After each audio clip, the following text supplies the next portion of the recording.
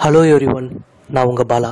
இந்த வீடியோ நம்ம என்ன தெரிஞ்சுக்க போகிறோம்னா ரேன்டிடின் மருந்தினுடைய பெனிஃபிட்ஸ் பயன்கள் என்னென்ன என்ன காரணத்துக்காக டாக்டர்ஸ் வந்து இதை பயன்படுத்துகிறாங்க நம்ம உடம்புக்குள்ளே போய் இது எப்படி வேலை செஞ்சு நம்மளை பாதுகாக்குது இது மட்டும் இல்லாமல் இந்த மருந்தை யார் யாரெல்லாம் சாப்பிடலாம் யார் யாரெல்லாம் சாப்பிடக்கூடாது இந்த மருந்தினுடைய சைடு எஃபெக்ட்ஸ் பக்க விளைவுகள் எல்லாம் என்னென்ன இந்த ரேன்டிடின் மருந்தை எப்போ சாப்பிடணும் எப்படி சாப்பிடணும் எந்த அளவுக்கு சாப்பிடணும் என்பதை பற்றி அந்த வீடியோவில் நம்ம முழுமையாக தெரிஞ்சுக்க போகிறோம் வாங்க வீடியோக்குள்ளே போகலாம் அதுக்கு முன்னாடி இது வரைக்கும் நம்ம சேனலை நீங்கள் சப்ஸ்கிரைப் பண்ணலன்னா இப்போ சப்ஸ்கிரைப் பண்ணிவிடுங்க அப்படியே பக்கத்தில் இருக்கிற பெல் ஐக்கனையும் கிளிக் பண்ணுங்கள் அப்போ தான் என்னுடைய அடுத்தடுத்த வீடியோக்கள் உங்களுக்கு நோட்டிஃபிகேஷனாக வந்து சேரும்.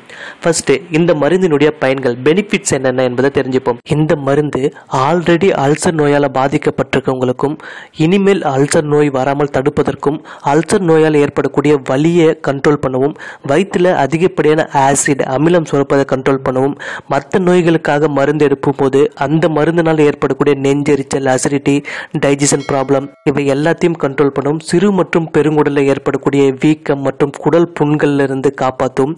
இறைப்பையில் ஏற்படக்கூடிய புண் மற்றும் வீக்கம் அந்த இடத்துல ஏற்படக்கூடிய நோய் தொற்றுகளையும் கண்ட்ரோல் பண்ணவும் இந்த ரேண்டினின் மருந்தை டாக்டர்ஸ் வந்து பயன்படுத்துறாங்க. அடுத்து இந்த மருந்தினுடைய சைடு எஃபெக்ட்ஸ் பக்க விளைவுகள் என்னென்ன என்பதை தெரிஞ்சுப்போம்.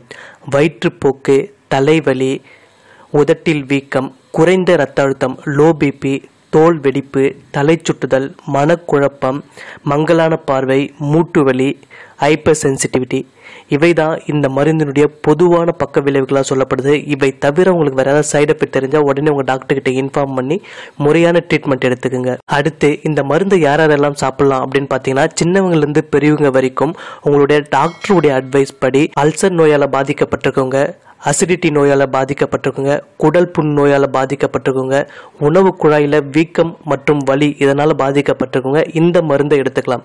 நீங்களாக எடுத்துக்கக்கூடாது இதனுடைய டோசேஜ் வந்துட்டு டாக்டர் தான் முடிவு பண்ணுவாங்க. அவர் சொல்கிற இன்ஸ்ட்ரக்ஷன் படி நீங்கள் மற்ற மாத்திரையோட இந்த மாத்திரை சேர்த்து எடுத்தீங்கன்னா உங்களுக்கு நல்ல பலன் கிடைக்கும். இதை தவிர்த்து உங்களுக்கு வேறு ஏதாவது டவுட் இருந்தால் கீழே கமெண்ட்டில் டைப் பண்ணுங்கள் நான் ரிப்ளை பண்ணுறேன் இந்த வீடியோவை எல்லாருக்குமே ஷேர் பண்ணுங்கள் எல்லாருமே இந்த மருந்தினுடைய பயன்கள் என்னென்ன சைடு எஃபெக்ட் என்னென்ன என்பதை தெரிஞ்சுக்கிட்டும். நாம வேறு ஒரு வீடியோவில் சந்திப்போம். நன்றி வணக்கம்.